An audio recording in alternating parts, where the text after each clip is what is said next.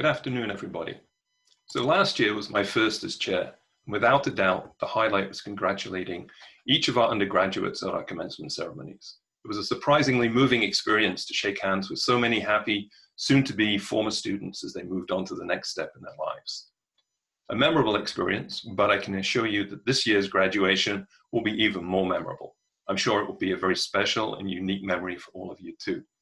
I know it's been a challenging end to your time here at USC, but it's remarkable how the faculty and the staff, and of course you, the students, have all stepped up so that you could complete your degrees on time.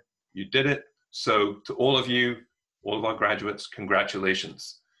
Whether you're an undergraduate finishing four years with us on campus, a master's student here for a couple of years, or a PhD finishing five or even six years of intense research, you've all accomplished something great today.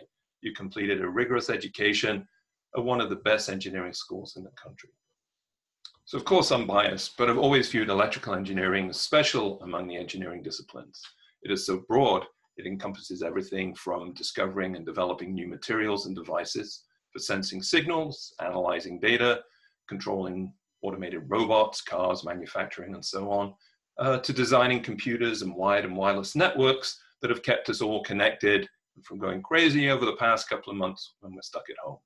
Also, the video screens, digital TVs, and compression algorithms that have allowed you to stream classes online and to binge watch Netflix in between, and the X-ray and MRI machines used to study the consequences of COVID-19.